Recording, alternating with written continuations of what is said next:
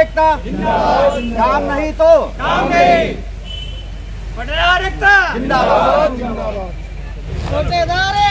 जिंदाबाद जिंदाबाद जिंदाबाद नहीं तो काम नहीं डान नहीं तो काम नहीं नहीं तो हम लोगों का मामला भैया हमारे लाभांश को लेकर लगभग सात आठ महीनों से हम लोग खाद्यान्न का वितरण कर रहे हैं। नियमानुसार। लेकिन उसका जो लाभांश मिलता है नब्बे रुपये प्रति क्विंटल जो कि हम लोगों को लगभग सात आठ महीने से नहीं मिला।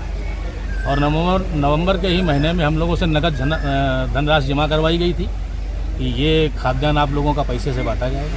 लेकिन दूसरे दिन आदेश आ गया तो वो खाद्यान्न भी फ्री में बंटवाया गया। वो जो पैसा हम लोग कोटेदारों ने नकद जमा राशि जमा की थी वो भी आज तक हम लोगों को वापस नहीं मिली। इसलिए तत्काल हमारा लाभांश हमको दिलाया जाए।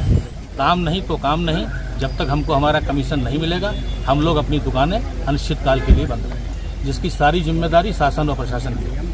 तो कुछ टाइम दिया है या ऐसे? नहीं अभी तो भाई साहब कोई अभी तो फ़िलहाल कोई टाइम नहीं दिया है लेकिन ये बताया जा रहा है कि आप लोगों से धनराशि से संबंधित लाभांश से संबंधित पत्रावली आगे भेज रहे हैं और उसको लखनऊ भेज करके वो आपका पैसा जो भी है जल्दी से जल्दी मंगवा दिया जाएगा है कुछ मांगे हैं क्या मांगे हैं और क्या आश्वासन सर आपने उनको दिया है? महोदय, मैं अंजनी कुमार सिंह, जिला पूर्त अधिकारी, लखीमपुर खीरी हम आपको अवगत कराना चाहते हैं कि जो कोटेदारों के चूँकि वितरण इस समय फ्री हो रहा है तो उनके लाभांश के लिए, उनकी मांग है कि लाभांश हमको दिया जाए।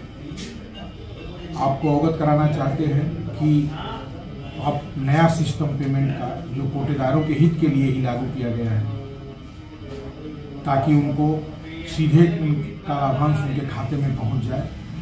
P F M S portal के द्वारा किया जा रहा है। जहाँ तक जनपद लखीमपुर खीरी का प्रश्न है तो लखीमपुर खीरी में नवंबर का पेमेंट हो चुका है। दिसंबर का पेमेंट अब आज रात से आने ही लगेगा। जनवरी की भी प्रक्रिया लगभग पूर्ण हो चुकी है और हम जल्दी से जल्दी एक सप्ताह के अंदर फरवरी और मार्च का भी पूर्ण करा देंगे।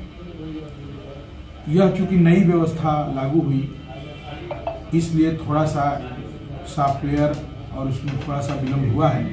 लेकिन ये कोई विलम्ब नहीं है। अगर ये विलम्ब हुआ है तो ठेकेदारों का हित भी इसमें सीधा है, क्योंकि उनको इधर उधर कहीं देखना, चेक नहीं करना पड़ेगा। उनके सीधे खाते में चला जाएगा क्योंकि चौदह सौ पंचानवे कोटेदार हैं। उनके सारे खातों को एन कराना था।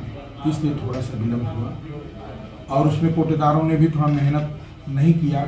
अगर ये लोग पहले ही एन करा दिए होते तो जल्दी से जल्दी पेमेंट हो गए होते।